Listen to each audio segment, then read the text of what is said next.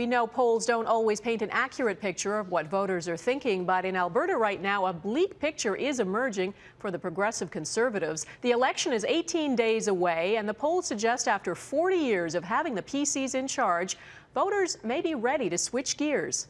Reid Fiest reports. For over 40 years, Albertans have remained loyal to the progressive conservatives, but now an indication they may want change. Alberta's NDP, led by Rachel Notley, drawing crowds. And new Wildrose leader Brian Jean cutting apart the PC platform, both gaining traction with voters upset about an early election call by Jim Prentice. I think maybe conservative is not the way to go anymore.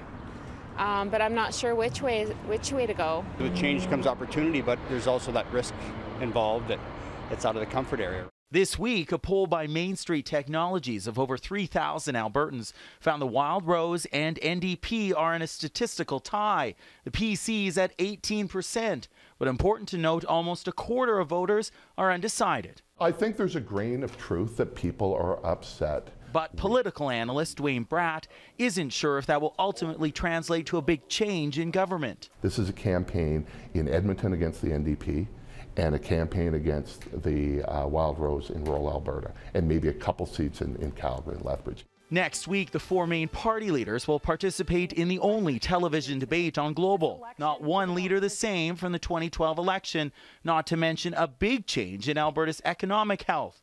That's where the Conservatives are expected to play their safe card. It's the party with the most realistic plan to steer the province out of its troubles. What the PCs are able to do over and over again is say, we represent safe change. You didn't like Redford? Good. We didn't like Redford either.